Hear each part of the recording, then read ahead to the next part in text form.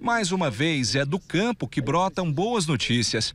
Na fazenda do Paulo, ele colheu quase 69 sacas de soja por hectare, aumento de 10% em relação à safra anterior. Esse ano foi muito bom o clima, né?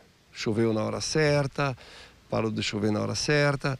Além do clima favorável, o agronegócio brasileiro foi beneficiado com a quebra de safra da soja dos Estados Unidos.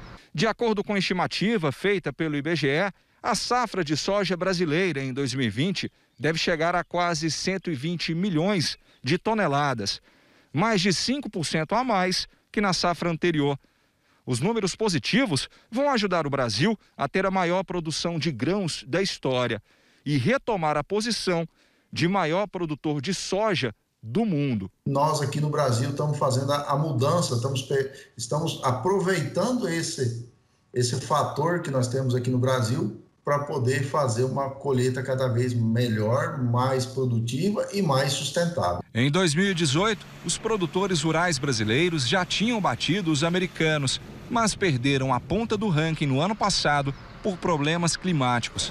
Além do título de maior produtor do planeta, a safra recorde também fez com que o agronegócio do país exportasse 42 bilhões de dólares de janeiro a maio, o maior da história, e quase 8% a mais que no mesmo período do ano passado, gerando emprego e renda em plena pandemia.